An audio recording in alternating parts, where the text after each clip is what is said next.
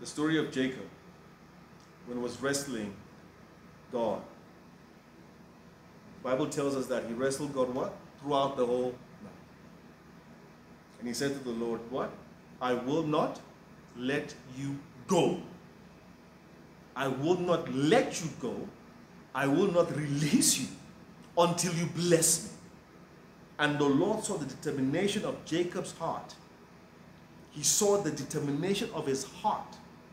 And what did the Lord do? The Lord blessed him and changed his name to Israel. What often happens is that for many of us, sometimes prayer is hard. Prayer is hard. And so often people turn away from the Lord just before their breakthrough comes. They become tired just before their breakthrough comes. And God is never early, He's never late, He's always on time, and we can trust His process. If He allows something in our lives, we can be guaranteed that as a loving Father, there is a reason that He has allowed that event to occur in our lives. There is a reason.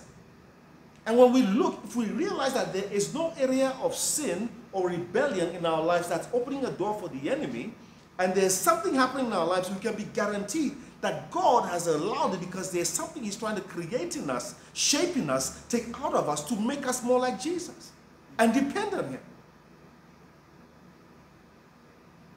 So, no matter how our flesh wants us to feel, we must run to our Father in heaven. He's not just God Almighty, He is your Father, my Father. He is an ever present help he never leaves. Right now, He is here with us, with you, with me, with every one of His children. We should run to God, go to Him with our petitions in prayer and in faith, knowing and believing that when we cry out that He hears us. When you cry out, when you pray to the Lord, He hears and also knowing and believing that through Jesus, through Christ and Christ alone, that we are more than conquerors.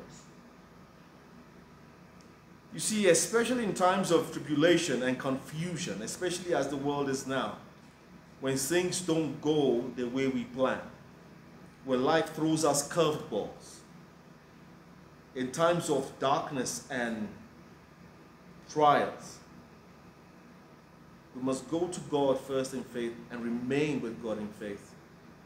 But here's the thing that we have to understand as well that the God that we serve, this Father of ours who gave us His Son, His Son who died upon the cross, who gave His best for us, that this Father, when we run to Him, we have to go to Him understanding and knowing that not only is He able to answer what we ask Him, but He is able to do immeasurably more infinitely more.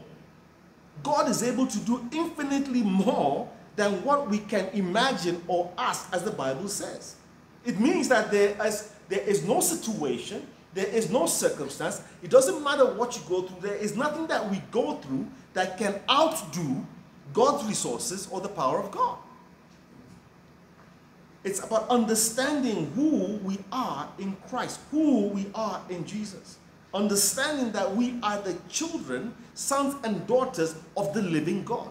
Nothing can outdo the resources and the power of God. But even as we ask our Father in faith, here's the problem. We must also be willing to surrender to His will and to His purpose in that situation. Sometimes we're going to ask God for something and He will not give us. Because as a loving Father, remember, He is omniscient, He knows all things. And he will not give us what we want at that moment because he's more concerned about the salvation of our souls than that material need. So we have to surrender to his will in that situation and know that in his own time, in his own way, he will open the right doors for us because there is no plan or purpose that we can have for our lives that can be better for the plan that God has for you and my life. You see, in every aspect of our life, submission is important.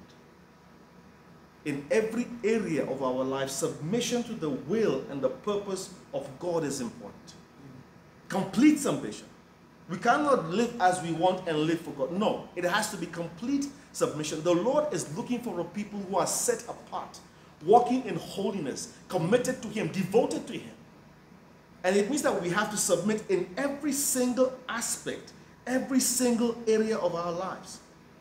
And I believe that if we are seeking the will of God first, if we are seeking the kingdom of God first, and if we are seeking the righteousness of God first, in all things, then as Matthew 6 33 tells us, everything else will be added unto us.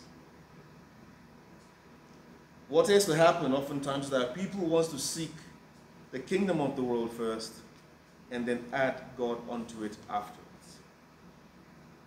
God is not a band aid, He's not an ATM. He's not a genie that does what we want, how we want, when we want.